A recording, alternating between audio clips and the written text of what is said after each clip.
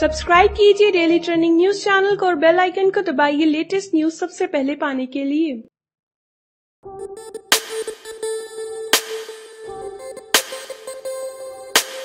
Big boss के घर में चल रहे हैं नॉमिनेशन टास्क और इस टास्क के दौरान घर वालों के बीच में हुए लड़ाई झगड़े, वो भी घर के बहुत ही अच्छे दोस्तों के बीच में। और वो दोस्त हैं दीपक ठाकुर और सुरभि राणा। दरअसल, आज के एपिसोड में आप देखेंगे कि रोहित सुचंती जाते हैं जिनकी गुफा में और फिर उन्हें दिया जाता है काम की अगर दीपक ठाकुर अपनी फैमिली की पिक्चर्स को डिस्ट्रॉय कर देंगे तो वो नॉमिनेशन से बच जाएँगे। लेकिन दीपक ठाकुर थोड़ा सा ड्रामा करते हुए कहते हैं की मैं डिस्ट्रॉय कर दूँगा और थोड़ी देर तक ड्रामे को कंटिन्यू करते हैं। लेकिन लास्ट में जाकर ये कह देते हैं की भाई, मैं डिस्ट्रॉय नहीं करूँगा। और इस बात को लेकर रोहित और दीपक के बीच में आर्ग्यूमेंट हो जाता है और इस आर्ग्यूमेंट के बीच में रोहित ले आते हैं सुरभि राणा को बीच में और सुरभि राणा फिर अपना क्लेरिफिकेशन देती हैं और इस क्लेरिफिकेशन के बीच में सुरभि और दीपक के बीच में फाइट हो जाती है। सुरभि कहती है, ए हेलो फालतू की बात मत कर। सुरभि कहती है की मेरे से बात हुई की दीपक कह रहा था, अगर मैं मेरा प्रोमिस ना निभा पाऊँ तो फिर मैं कर दूँगा। रूट मैं सिर्फ़ अपनी चीज़ क्लियर कर रही थी। मैंने इसको प्रॉमिस किया है कि अगर सुमी को बचाने के लिए मैं इसको उड़ाऊँगी तो भाई ये मेरा क्लैरिटी ऑफ़ थॉट्स है। जैसे कि आपको अपना क्लैरिटी ऑफ़ थॉट प्रोसेस रखना है वैसे मुझे भी अपना रखना है भाई। और इस तरह से दोनों के बीच में इस बात को लेकर काफ़ी देर तक लंबी आर्ग्यूमेंट होती है।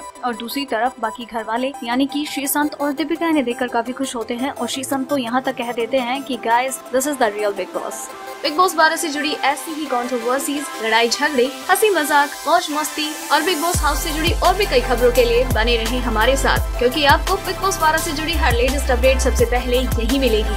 अगर आपको हमारी ये स्टोरी पसंद आई तो इसे लाइक करें और अपने व्यूज़ हमें कमेंट करके ज़रूर बताएँ। डेली ट्रेंडिंग न्यूज़ की रिपोर्ट सब्सक्राइब करें हमारा चैनल ऐसी ही लेटेस्ट और इंटरेस्टिंग न्यूज़ के लिए।